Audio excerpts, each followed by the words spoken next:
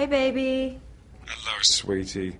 Look, I'm really sorry. I can't make it tonight. Are you joking? Look, it's the Smith report. The boss. Oh, you're having a f- laugh.